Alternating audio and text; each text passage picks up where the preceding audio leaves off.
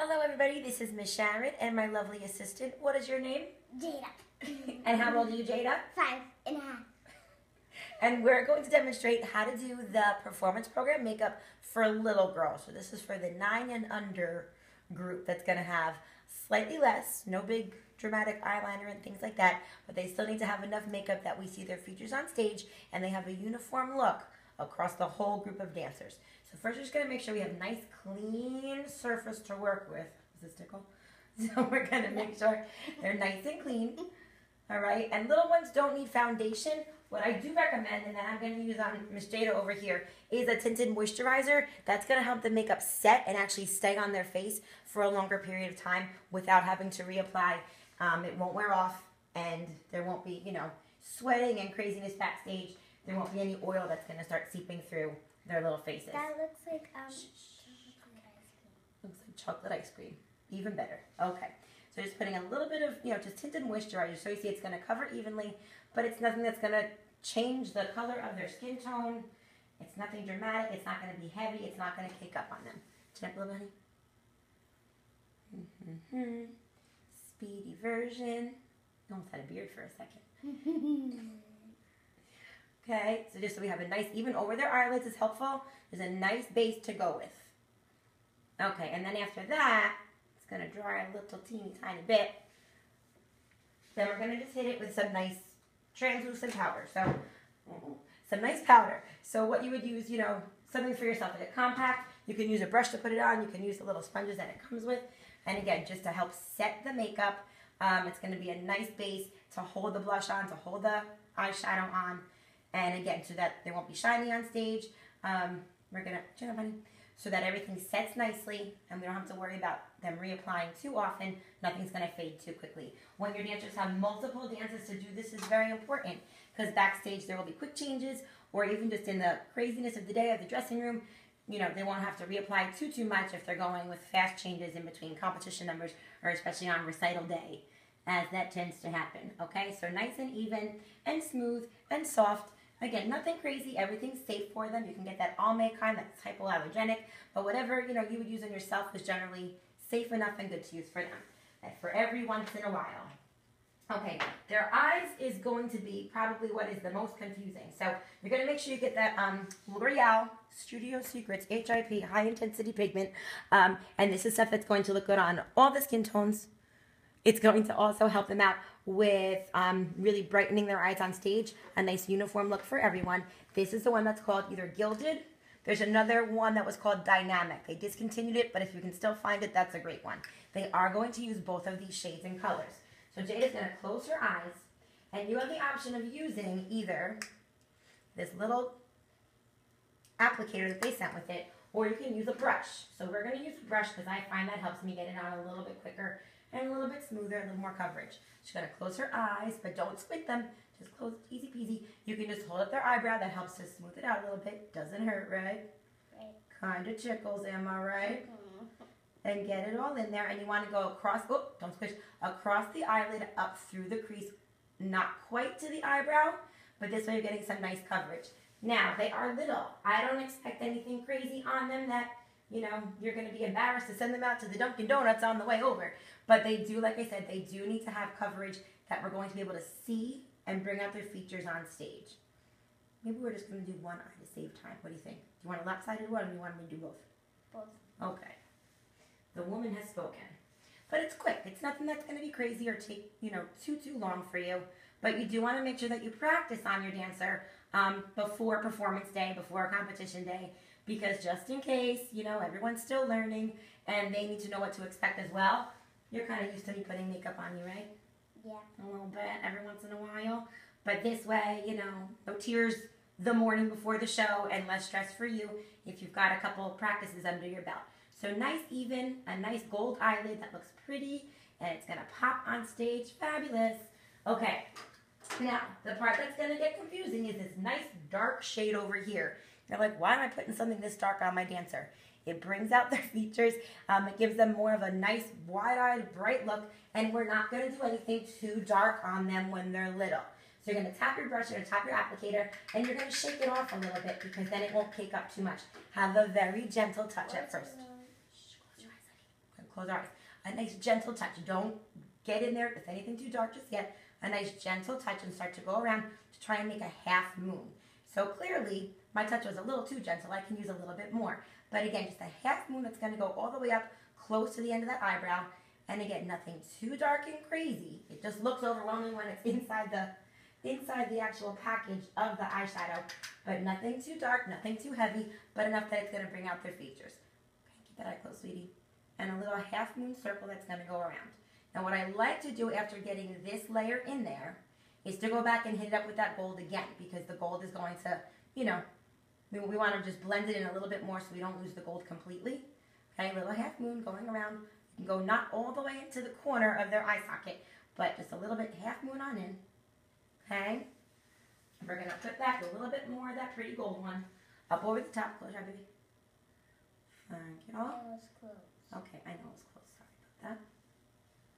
Okay, and then the last piece of the puzzle to that that's going to help blend it all together again is that nice white frosted icing.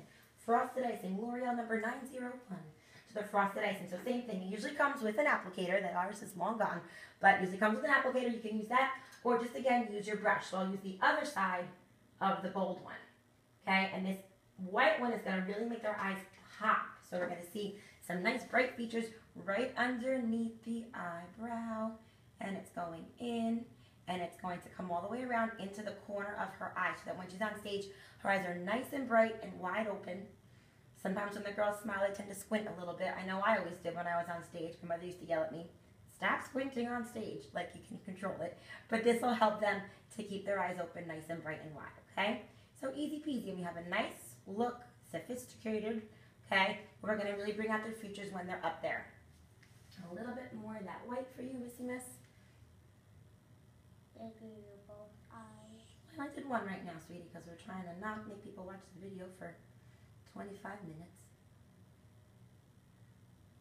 Okay, and anything that comes too far over to the side, you just go back and you take either the sponge that you use for their foundation or moisturizer, or you can even use just the sponge that you use with the foundation and just clean it up a little bit. That's all that it's there for. Easy peasy, okay? So I'm gonna real quick do the other eye so that we're not lopsided, a little missy. Okay, so turn your face this way a tiny bit.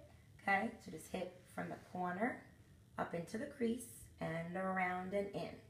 So you know, I've used my fingers for this before. You can use the applicator that they gave you. You can use a Q-tip. Really, whatever is the best, the best medium for you to use. Pick the tool that you want. And again, you'll only know from practicing with it. So bring it over a little bit, not quite into the corner. Little half moon circle over here, up almost to the end of that eyebrow. And you can go a little bit over the side. Um, that'll just tie it all together. And they've got teeny tiny eyes at this age. It's not like we're doing anything dramatic, no Cleopatra, but just to bring out their features. Cleopatra. Cleopatra. Mm. He's not. Yep. sure. Okay. I think you're thinking of Monster High.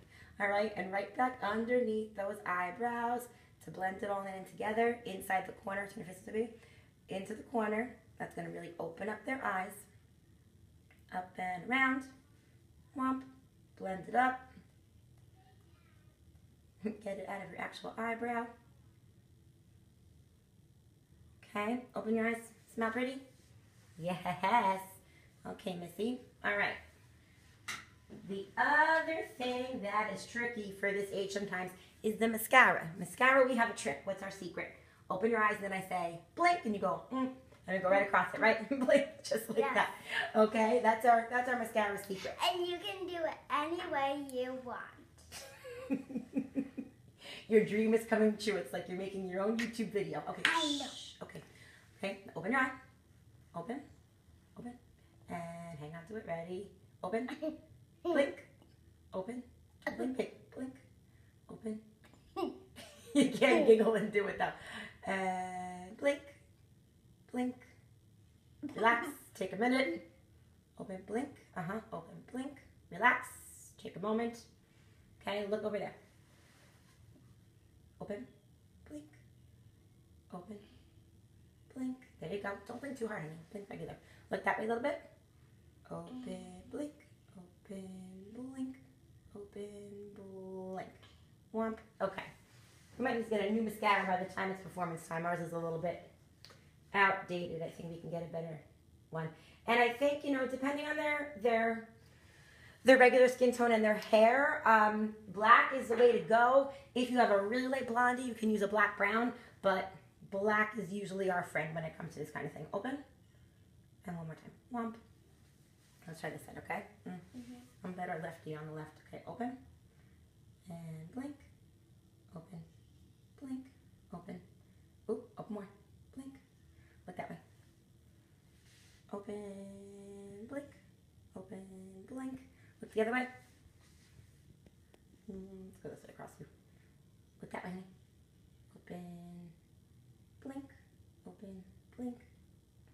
We're getting it. We're getting it. All right, look at me. Wow, so fantastic. All right, freeze. All right, good enough for the moment. All right, now moving on to your blush. Cover girl. Cover what? Cover what? Cover girl. I already talked off. Pearly plum or purely plum. We've seen it both different ways, but you have the three different colors here. So this is a highlighter for the top of that brow bone. Give them some nice cheekbones. Um, I like to just blend the two colors together. So same thing. You can use this guy that came with it. Sometimes that's tricky because you might get stripes. So you want to be careful and make sure if you're using that, you want to make little round circles on them. But like I said, blend the two together. Give it a nice little smush around. Tap it out a little bit so that, you know, you don't get a eruption of color on their face. But I'm gonna turn cheek a little bit, honey, and just little circles. Tap it on, make little tiny circles. Not very big cheeks that we're working with here, the little tiny, teeny tiny guys. But we do need to have a lot of blush on them because we're not gonna be able to see their features on stage. So like Jada's got a fair complexion, just like her mom. We're not very tan, so you want to be able to see on stage what all those smiling cheekbones that we got going on, right? Mhm. Let me see your smile teeth. Fabulous. Oh, just that's the one. Turn this way, honey. Okay, so you can do little circles. Work the apples, and all the way up, like apples. just like apples. These are called the apples of your cheeks. Oh. All right. Okay, all the way up, blending it in. Okay, and then from there, nice color. You know, you can kind of dip it into that lighter one on the other side, and that just goes. It's just a little highlighter, just to go right here. Little extra sparkle, fabulous.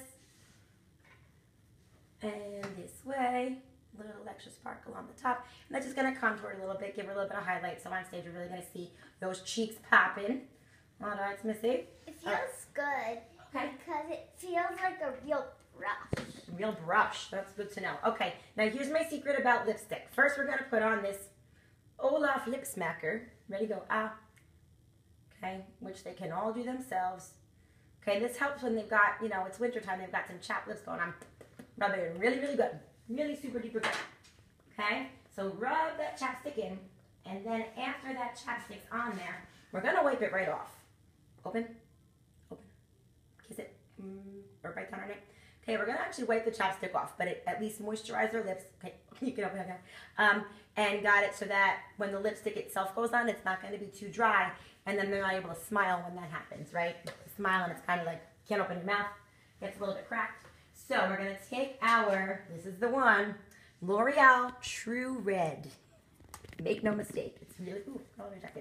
Really, really red. All right, this looks scary at first. It's not that scary because we're gonna mute it down a tiny, tiny bit. Again, gonna use a light, light touch. You can just use the actual lipstick itself, a lipstick brush, a Q-tip, whatever helps you ap- ap- apply it. Um, open light, exactly. Not too much, not too much. Like, ah, Ah. fabulous. Okay, and gentle, gentle, gentle. If you wanted to use a lip liner, by all means you can. JD's in one dance for performance, for competition, and for the benefit. She's in three dances for recital. Holy moly! That day we might use a lip liner. Um, we'll see how it goes. We're gonna see what we think. But a lip liner, you know, does make it easier to kind of fill in the blanks. If you use a lip liner, I say cover the entire lips in the lip liner. We'll show you that when we do the big girls video. Are you yawning while I'm doing this? okay, relax. Uh, um, you know, that actually helps so you don't just follow the line, you actually get to follow and go right across. It, it helps it stay on longer. All right, okay. Relax for a second, close your mouth, go up. Okay, and then we go and we correct it. So ah, one more time. Fill in where we missed. Follow, follow, follow, follow, follow. All right. And then just gonna take a little teeny tiny and kind of work around it. My granny used to paint, you know, above her lip line with her lipstick just to make her lips look a little bit fuller. But we're not gonna try and do that. We're just gonna keep it on those lips, Missy Miss. And then you can always hit this with a clear gloss on the top. You don't want to use a colored one because that'll mute the color of it. It's got to be red, red. And your costume is red and black anyway, so it's going to match perfect, right? And white. And white, red and black and white. So, You forgot. okay, sorry about that. So we're going to make sure that we have nice bright lips for super smile. So on your mark, get set, super smile. Fantastic. Okay, now a regular smile. Yes, there we go.